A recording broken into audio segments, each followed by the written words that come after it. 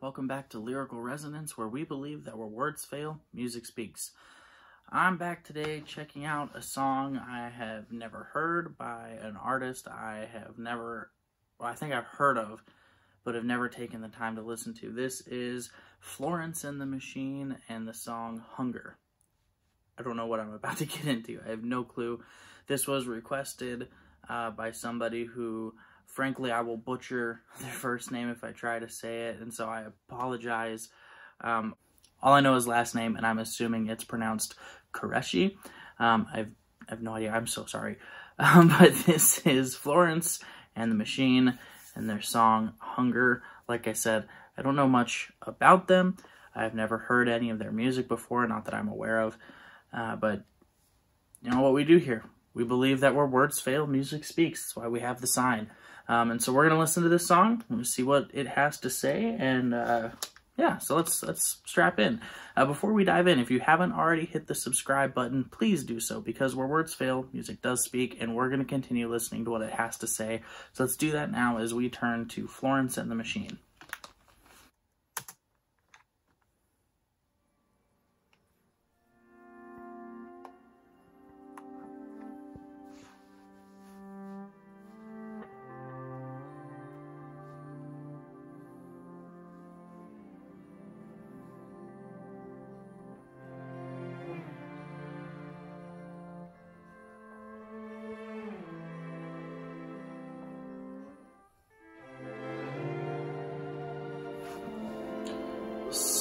Sounds very like cinematic.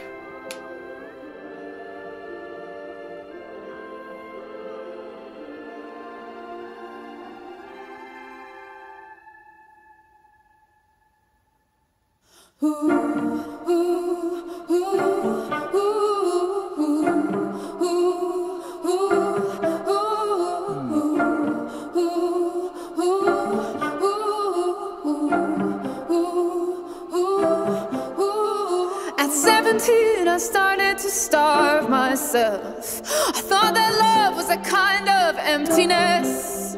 And at least I understood then the hunger I felt. And I didn't have to call it loneliness. We all have a hunger.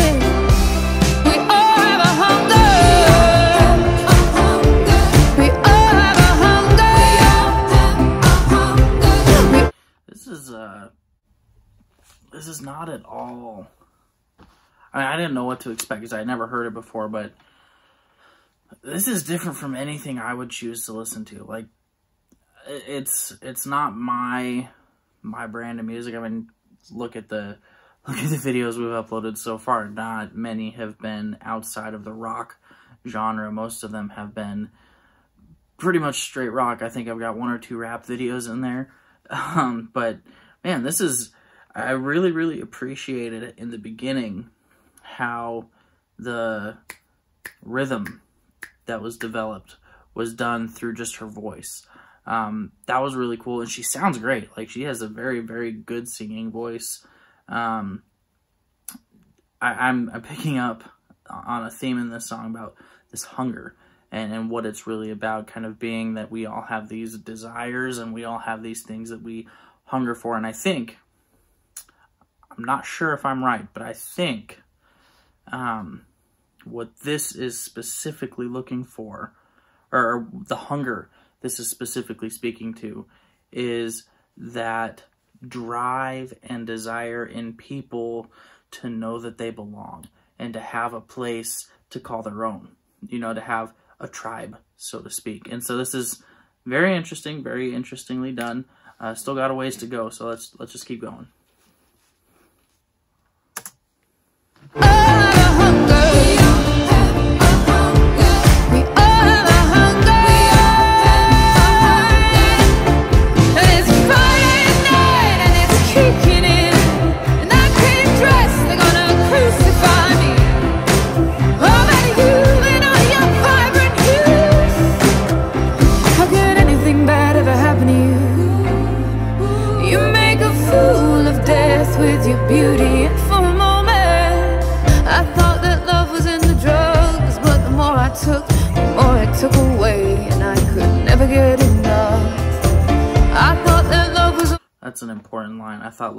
Drugs, but the more I took, it just the more it just took away.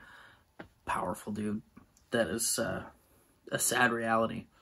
You know, the more people get hooked and addicted to drugs, the more it just takes away from who they really are, and it's it's sad, man. It's a sad reality.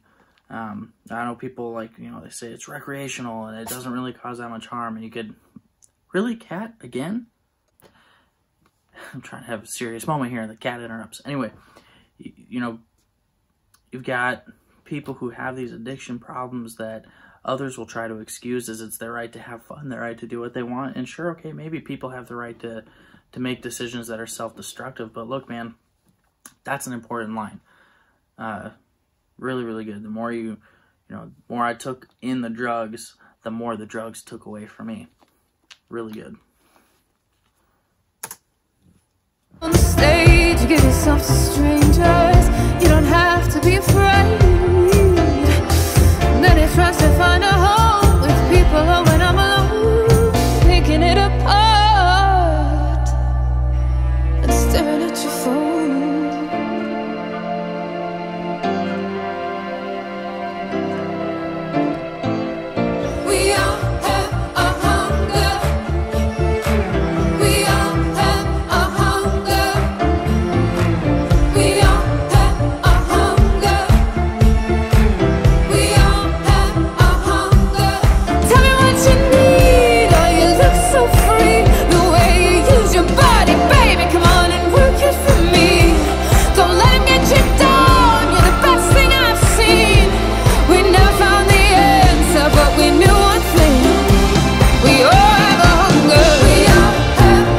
That's interesting.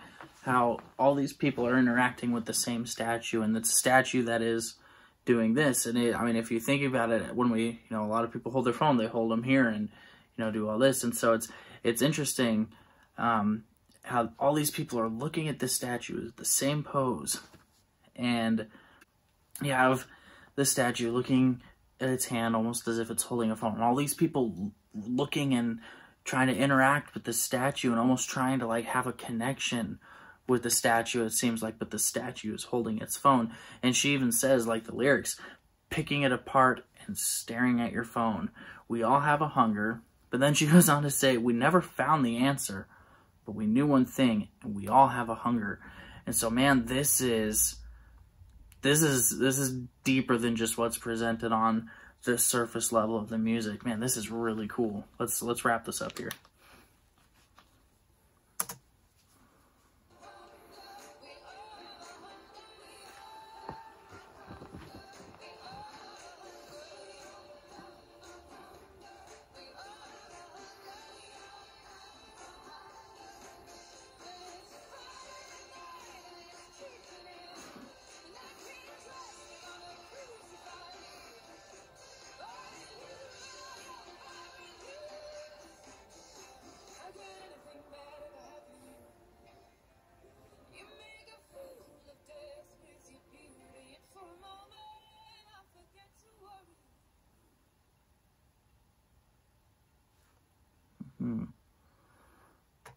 How many have to die so that you can feel loved?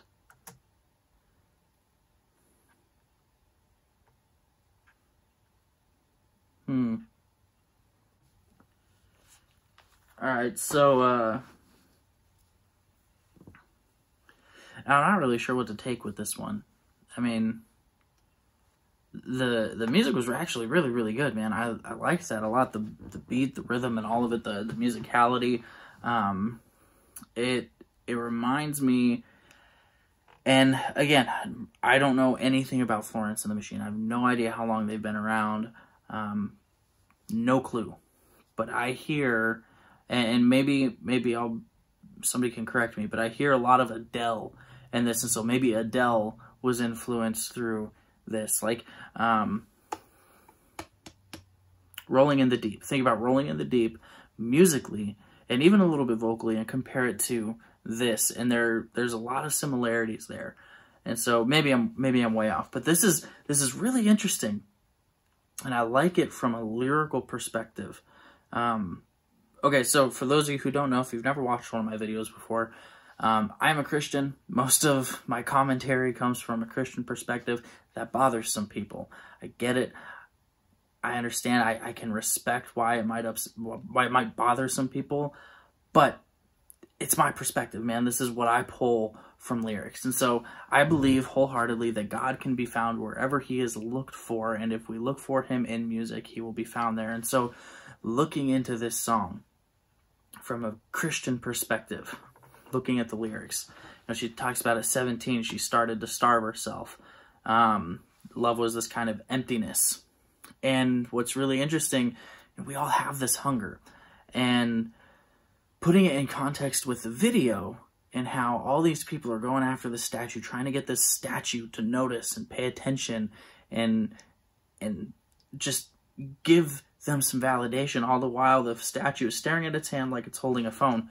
And to me, what I'm thinking is this hunger is this desire, number one, to know that we belong, to know that we are accepted, and ultimately to know that we are loved and that we matter. And so I'm I just I'm thinking about all this and man, this is this is a really deep song, like deeper than just the surface level of just good music and a catchy melody. She even says going back to that verse about the drugs, I thought that love was in the drugs, but the more I took, the more it took away, and I could never get enough. I thought that love was on the stage. You give yourself to strangers, you don't have to be afraid, and then it tries to find a home with people or when I'm alone, picking it apart and staring at your phone. And this is this is one of the things that my generation particularly, I'm a millennial, I'm 30 years old. My generation in particular lives on their phones, and I'm horrible about this. I know I do. Um, even right now, recording me is my phone. Um, but thinking about it in those terms, like we look for things, we look for affirmations through our phones. Like every time we get a like or a share or something, it gives us like that dopamine hit saying, hey, good job, do more of that. And man, I just I'm looking at this and and there's such a hunger and a desire to be known and to be loved and to have people and to to to know that we matter. And when you look for fulfillment in drugs, when you look for fulfillment in relationships, when you look for fulfillment in anything that is not Christ,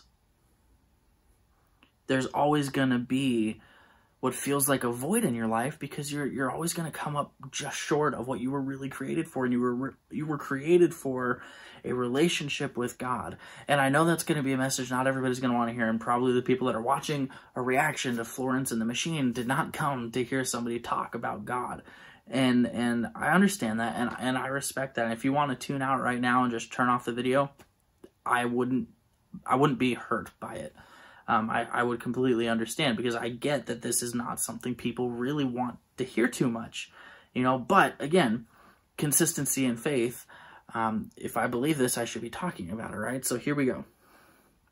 God created each person to be in relationship with Him, and He gives us the will to choose to be in that relationship or not. And if we choose to resist His love, to resist this gift that we call salvation, if we choose to resist that, he will allow us the dignity of our choice. And so it's really, man, this is so interesting. We all have this hunger. And, and what's crazy to me is the admittance that we have this hunger for something beyond ourselves, for something, this belonging, this connectedness.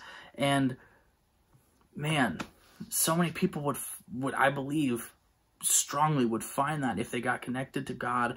Um, and I don't mean in the American sense of spirituality where um, oh, I'm connected to God, but I don't believe in the Bible, and I, am connected to God, but I don't think I need to actually follow what He says. That is not what I mean by that. What I mean by being connected to Him is following Him and obeying Him and and believing not just in Him, but believing Him.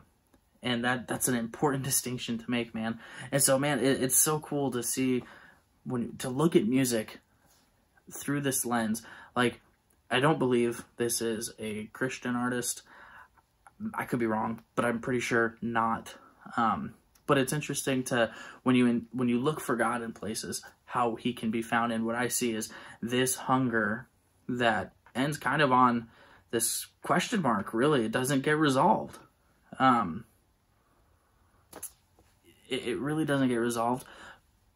But I see the resolution as if we can't find, if we can't fill this hunger, if we can't satisfy this hunger in relationships, if we can't satisfy it through stimulation through drugs or alcohol, and if we can't find it through um, expressions of self, then that has to mean that we were created for something beyond ourselves.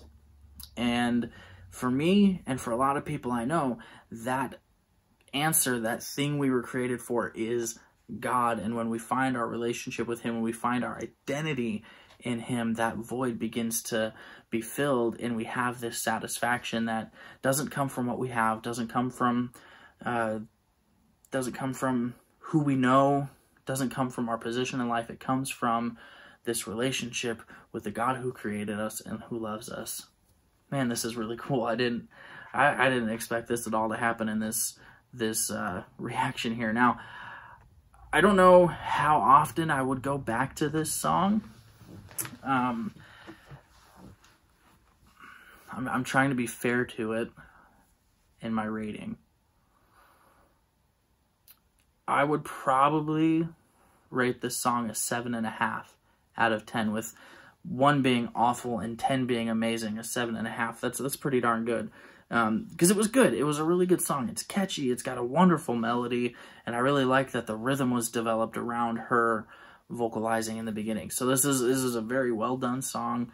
Um, just it's not my not my style. Um, I would probably I probably wouldn't skip it if it came on. Like I have a playlist of all the songs I react to that just keeps growing, and so this this will be on there. And I probably like I said I wouldn't skip it if it came on. I don't know that I would go seeking it out, but I wouldn't skip it. But you know what you have to do. Get in the comments and let me know. What did you think about this song? Did you like it? Did you hate it? Was it good, bad? Were you indifferent? On a scale of 1 to 10, 1 being awful, 10 being amazing, where would you put it? Because I want to know. If there is a song you would like me to check out, leave a comment or send me an email at lyrical.resonance.ia at gmail.com or find me on Facebook. Just search Lyrical Resonance. You'll see the logo we have here on the YouTube channel there as well. If you haven't already, Make sure you hit that subscribe button because where words fail, music speaks, and we're going to continue listening to what it has to say. But until our next one, as always, stay safe and be blessed. We'll see you next time.